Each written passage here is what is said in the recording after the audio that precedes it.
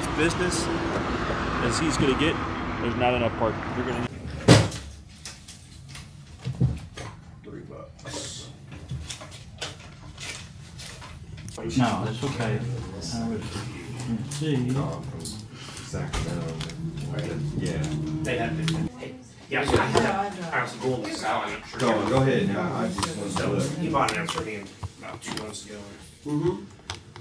So, what was your kind of idea for putting the camera right in the front, David? Like when you're looking at everything right here? I, you know, I want to be able to see everything going on and wherever it's going on. Plus, uh, it's easy for people looking in the front to see, you know, that they're being recorded and everybody else can see they're being recorded and everything. So, just a security measure to just let everybody know, you know, act right, don't misbehave. You're taking the right precautions as well, and uh, you're at least letting people know that you uh, you're watching. You know, Yeah. sometimes all the cameras are hidden in the back or whatever. So, Yeah, yeah. We want we want everybody to know what's going on. And so, you know, good fences make good neighbors. that's right.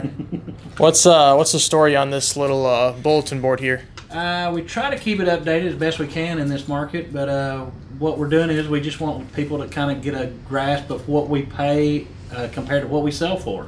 Yeah. So, Uh, if someone walked in with like a one ounce gold eagle, what would you pay them? Uh, right now, we're paying twenty five back on gold eagles. And then you're selling for about plus eighty over, which is Yeah, about about plus eighty over. Yeah. that's not too bad.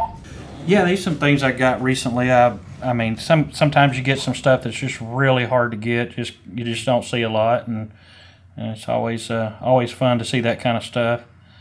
And uh, that's Yeah. uh, that's the best 14 Div I've ever owned. So Yeah, you owned it probably for a day or two, and then it was. Uh, somebody wants it, I guarantee you. Somebody Yeah. always wants nice coins. what's the typical stuff that you normally run into at the shop? Just kind of. You know, we we uh, we buy and sell a lot of silver dollars and uh, common common coins and slightly better coins. And uh, you know, there's the um, the Indian head cent collector and the Lincoln cent collector. They're either building their set or upgrading their set at all times. And then the type collectors are always looking for something, you know, something a little bit different or something a little bit better. Right. Of course, in this market, there's lots of people taking advantage of the high prices and selling gold and silver that they might have bought at a lower price, and and of course, uh, there's always the the stackers that are looking for a little bit more. So. Yeah. What are some things that you just bought today? If someone was walking in the shop and they're like, "What does a normal day look like for you guys?" What did you buy? Uh, today we bought uh, ninety percent. We bought some gold. Um, let's see, what else did we buy today? You even bought some wheat cents, maybe Yeah, some. I bought Uh, a bunch of wheat cents. We buy a lot of wheat cents. I think just about every shop has a plenty plentiful stack of wheat cents somewhere. yeah, they're Home Home Depot bucket Yeah, somewhere. Exactly. And um, Some scrap. uh, bought a couple of uh, Engelhard gold bars, and uh, those are, you know, see those every once in a while. That's kind of fun. And some other pre 33 gold, miscellaneous stuff. Do you want to walk us a little bit around the shop and just show us like your inspiration behind what you did? Well, we, I like old documents and stuff, and I like to collect them. And people enjoy seeing the old handwriting and some of the prices from some of that stuff and, and everything. And so uh, I swap that kind of stuff out from time to time. I can Uh, see you have. a couple little places where people can sit down and kind of go through coins, or you can have some little private time going over some stuff with people. And then down on the end, we keep a little bit of supplies down there. Yeah, you make it a little bit more personable maybe down here if someone is. Yeah, a little personal, a little private, and everything, so you can pull them away from everybody else and what else is going on. Yeah, because right on maybe on the left side here, you can see it more of a buying or more of a selling side, I guess. Right. And then there's people down here that are more of a, you know, if you're going to acquire from the public rather than sell to the public, you know. Yeah. And sometimes uh, some of our customers, you know, if they're going to be here a little while, it's just more comfortable for them just to have a seat and just relax for a little bit, you know. Uh, if they have a few things, they might come in, set them on your counter. You can go through them and be done, but sometimes it takes a little while.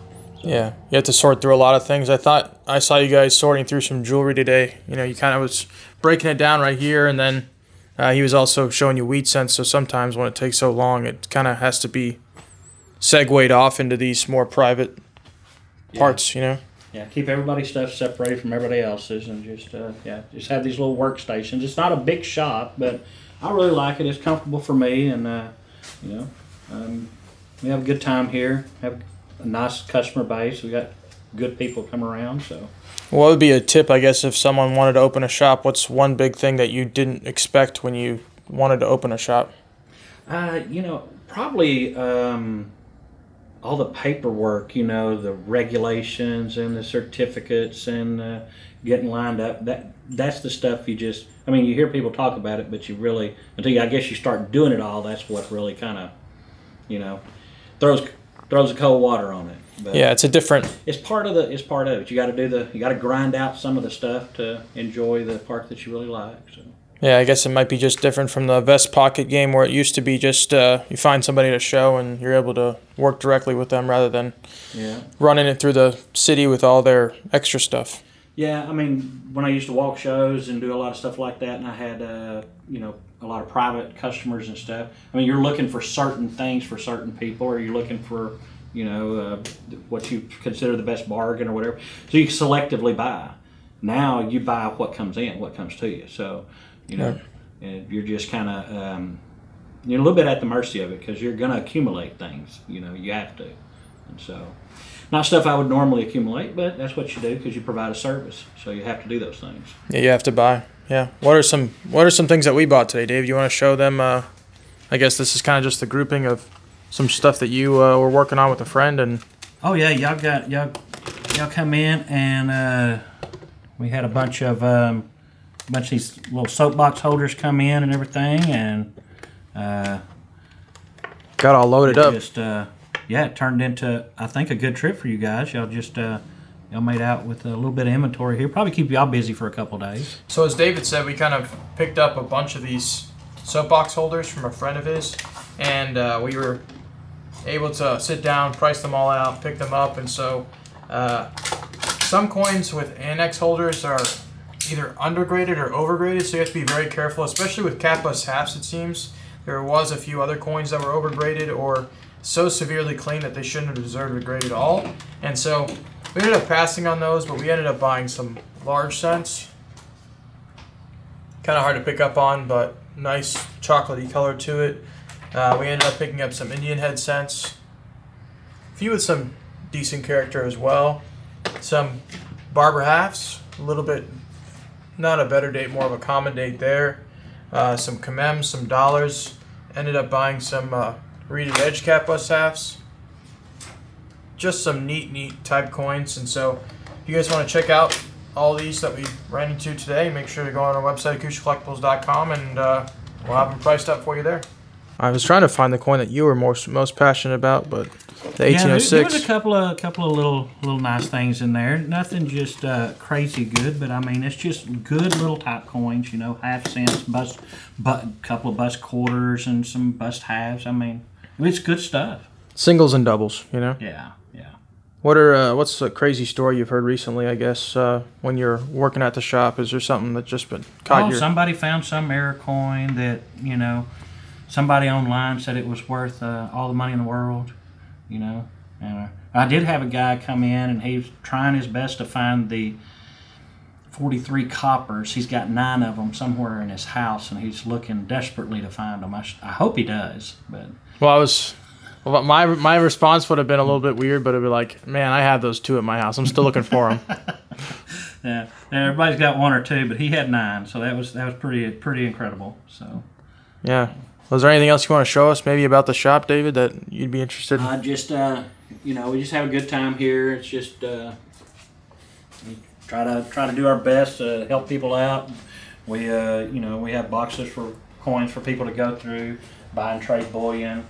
Uh, we chase better coins for for custom selective things, and so uh, Yeah, so I could see you have a bunch of, I guess, just a bunch of paper up here, and then you have raw, and then you have gold, and yeah. and so what's kind of the thought process when people come in? Are they mainly looking for gold right now, or is that the? Yeah, we we're probably have more sellers coming in than buyers right now, and so uh, I do have a limited amount of space, and so the good thing is it changes, so it and so people get a kind of a a good kick out of that because they come in, they see one thing, they come back a couple two three weeks later, some different stuff out and everything, so uh, so that's kind of fun, but. Um, but the, as far as the buyers go, we've got you know we've got our regular people that buy certain things, looking for certain things, and and they're digging and everything. And uh, It's that undercurrent, I guess, if that makes sense. Yeah. Yeah. So it's a it's a strange market right now, but uh, What would you describe, I guess, the scrap game? Like, what what do most people pay for scrap, and then what do you kind of pay for scrap if someone were to bring it in? Just so, because from what it sounded like when we talked about it, it was super fair. well, you know, we we want to be somewhere in that eighty percent, eighty five percent range is where we want to be. You know, and so uh, depending on what it is and the condition of it and everything and stuff is what we try to be. We hear a lot of numbers, and you know.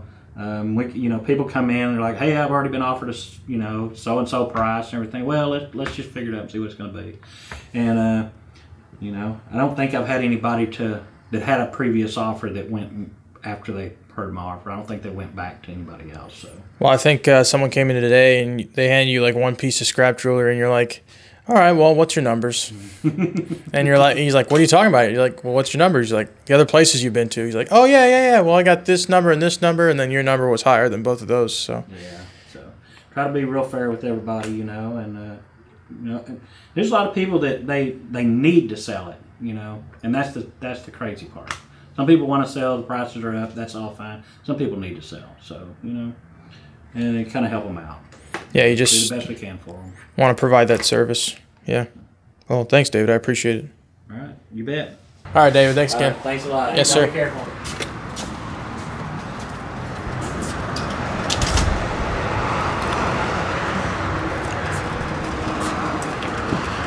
Successful day. Make sure those. Yes, sir. Can't complain. Now we drive home. All right, guys. So just wanted to show you some highlights. We just got home from David's shop, and there's a ton of great coins in here. A lot of them are common, so we put some on eBay, some on our website. But we hope you guys enjoy just the assortment of everything that we're showing you guys here today. First coin is this 1852 large cent AU50. So this coin in particular, it really looks like, I mean, it looks like a 58 by today's standards or 55. Minimal wear and has some decent little purple color in the fields. Then we have this 1830 cap bust half, really nice color.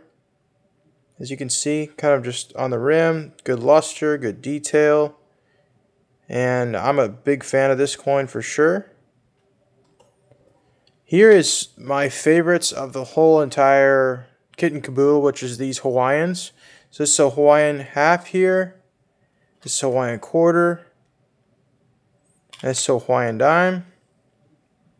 All, you know, mostly original. There's been some light cleaning on every single one of those coins, but that's just what's to be expected. Here's a cool Indian head cent. We're going to move into some more copper here. Gorgeous purple and bluish toning to the coin. Incredible luster. And uh, another coin that I'm a big fan of. Then we have this 1806 half cent. Um, it's graded VF30. So this coin, David was really excited about, liked it a lot, and uh, he let us pick it up. Not a lot of these older half cents in these soapbox holders, so it's cool to be able to offer it to you guys. Then we have this 1838 coronet head large cent, graded XF40. Original, nice color to the coin, beautiful browns, great detail, and an affordable price also. Here is an 1851 braided head large cent. So this is you know one of the nicer ones that we've picked up. There's a ton of other ones that are just kind of VF, or there's some that are low balls, AG uh, threes, maybe good fours, something like that. But has some nice chocolatey brown to this coin, and uh, yep. So a few dimes here to show you. This 1915 Barber dime, graded AU55.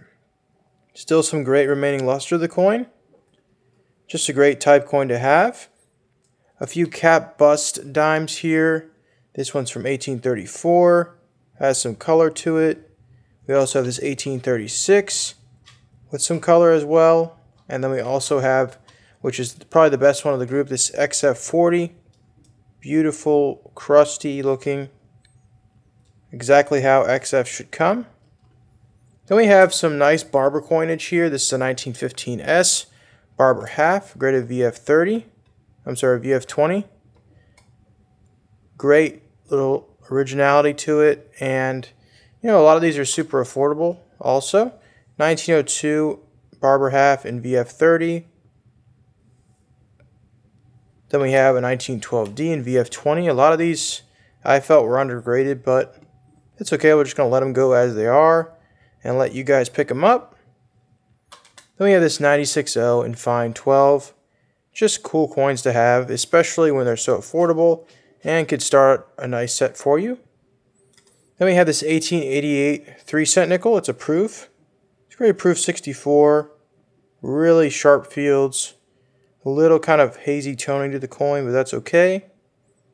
Then we have another great run of cap bust halves. We have a 37, another 37, and a 39. All with great detail. And some have some subtle color to them also. It's just you never know what you're going to run to at some of these shops. And it's great to be able to, I don't know, just get some variety for you guys as well because this is just a great assortment. We have this 1878S trade dollar in VG10. Not a coin you see often, especially on a holder. A lot of those are just sold raw, and so it's great. And so we have this 1835 cap bust quarter, great VF20. And then we have some cool 3 cent silvers to end it out here. All with uh, you know a little bit of charm, a little bit of color. Hard to pick up on. You can still see that luster on the coin, which is great.